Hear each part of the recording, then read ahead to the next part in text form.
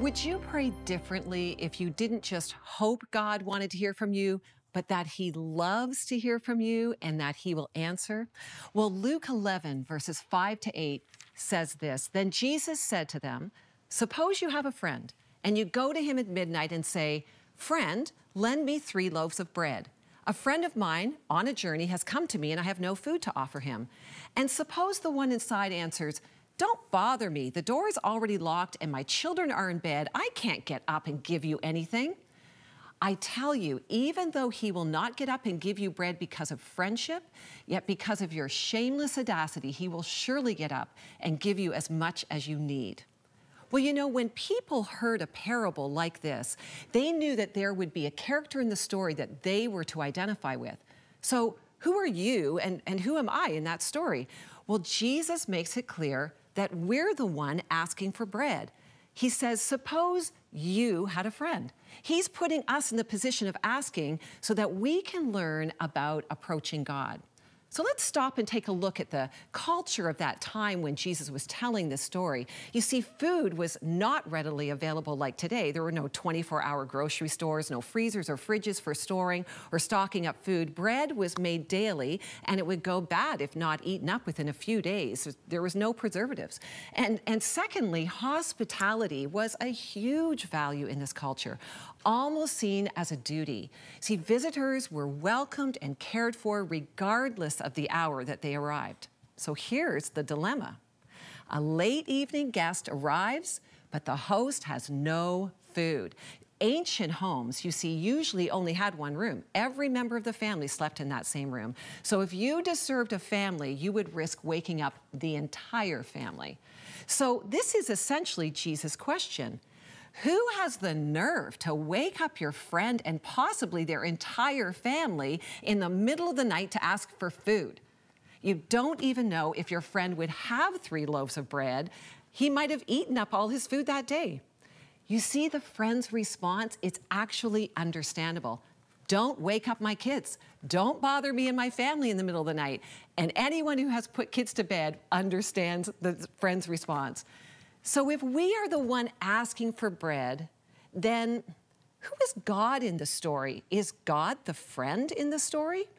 Well, here's the twist. Before you liken the friend to God, well, then you've actually missed the point of the story.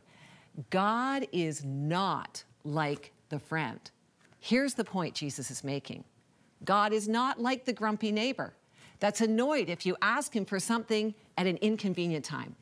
God doesn't get ticked off and annoyed when you ask Him for what you need, no matter when you ask for it. He's actually available anytime. He's approachable, he's gracious, he's generous, and he's ready to meet our needs when we ask him. He wants us to ask with boldness. He doesn't want us to shy away and feel like we're bothering him. I don't know about you, but what hindered me in my prayer life for years, I was often afraid to ask my father for something and I have a good dad. But I felt like I had to have all my reasons ready, you know, to defend while I was asking. So I would often shy away and I just go solve it on my own. God helps those who help themselves, right? Well, culture says independence equals maturity. But here's what God says dependence equals maturity. God helps those who call for help.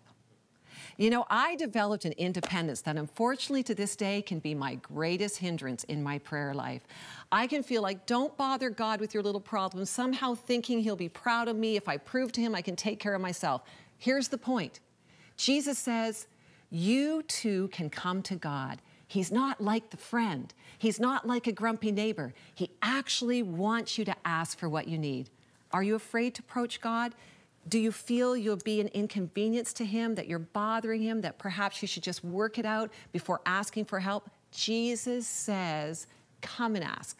Look what the next verse says Ask and it'll be given to you. Seek and you will find. Knock and the door will be open to you. For everyone who asks receives. He who seeks finds. And to him who knocks, the door will be open.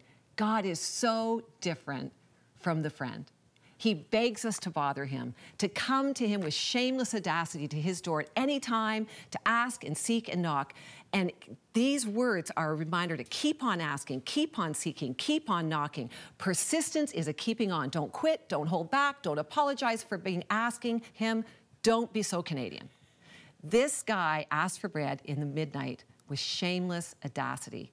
Does that sound like the appropriate, politically correct way to approach God?